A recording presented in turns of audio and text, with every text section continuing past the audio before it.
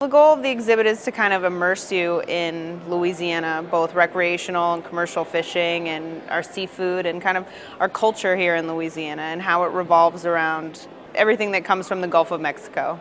We have great interactives. We have two boats where you can actually fish and catch some fish for yourself or compete against your brother and sister and see who catches the biggest fish. One actually you can drive, you drive a boat and take a trip down to the Rigolets. Some of the exhibits are a little bit different. You can actually climb up inside the blue crab exhibit and get a different perspective. Um, you can still do the stingray feeds and touch a stingray at the touch pool.